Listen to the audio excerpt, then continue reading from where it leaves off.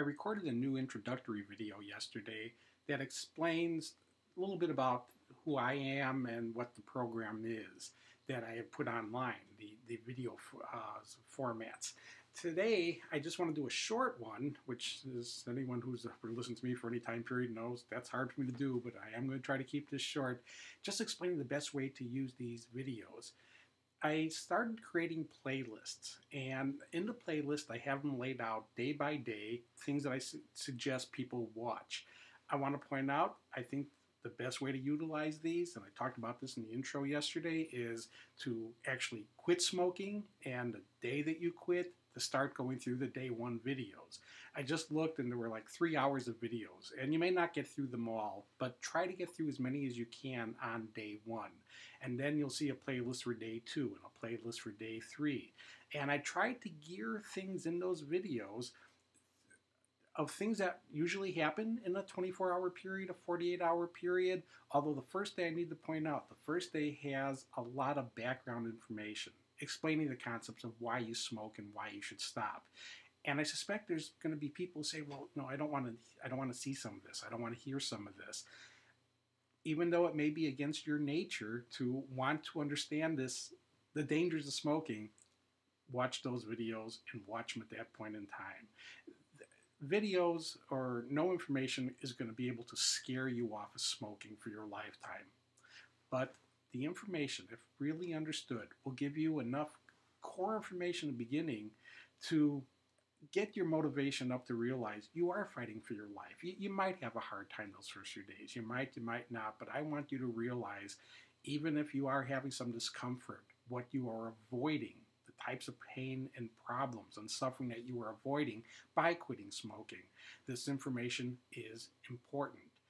And in the long run, I think the more you understand about these dangers, the more committed you will stay. Again, of recognizing you really you, you did fight for your life when you quit and it was a worthwhile fight. So try to watch those videos and then go through the day by day formats as they're laid out. Now, underneath the day by day formats. And the way it goes is you'll see an introductory session, and then you'll see day one through day six, and then you'll see the second week, and then the rest of your life. And th- those, the rest of your life, you don't have to watch at any particular point in time. After the second week, you can just go through a few of those, you know, every, every few days. Then what I did is I made a section underneath those now a new playlist, uh, one on relapse prevention. And I got to point out that those relapse prevention ones are also in those day by day formats. When I put that out there for people who aren't doing a day by day format, people who've quit already, they don't need to do a day by day format.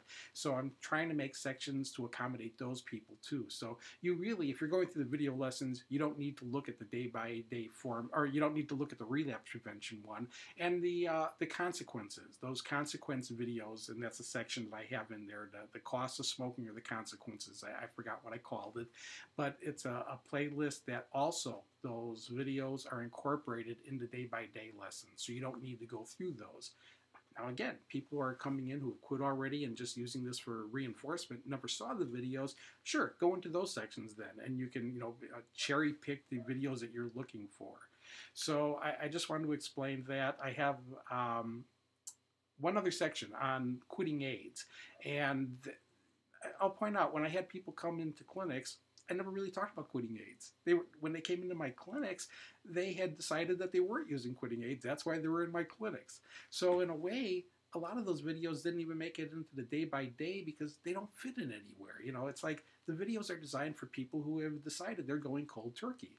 But now I put that section into uh, those videos into its own section of quitting aids for people who, you know, they're coming in and they're they're not looking at our program yet as a cold turkey program, but they want to understand what else is out there.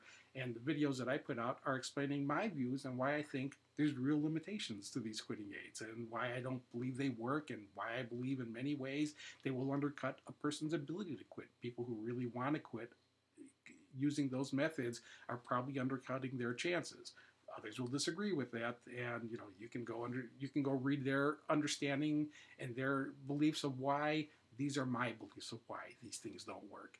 So I just want to do this as a quick introduction then, and uh, I, I, just in five minutes, so that's good. Um, I hope you utilize these videos, and also for people who are seeing this who may have quit smoking using the videos, it'll give you guidelines on how to direct people who you know who are looking to quit or people who have quit. So I, I, want you to have a little bit of a background too of you know the best way to utilize these videos now. Then also one other you know final comment that's also an introductory video if you then, once through the videos, use the articles in the library at whyquit.com, those articles were written for people who had graduated the clinic. They were the long term reinforcement articles. So those are there too. So once people have gone through the videos and they want to do things to reinforce over the long term basis, then go to the whyquit.com uh, Joel library and you can go through the articles and use those over a long term basis to reinforce a long term quit. Okay, uh, I hope you find all this information helpful. Um, the there's some new materials, and it's just a lot of the old materials laid out in a way which I hope is more logical and useful for people to uh, work with to start their commitment and to keep their commitment strong to never take another puff.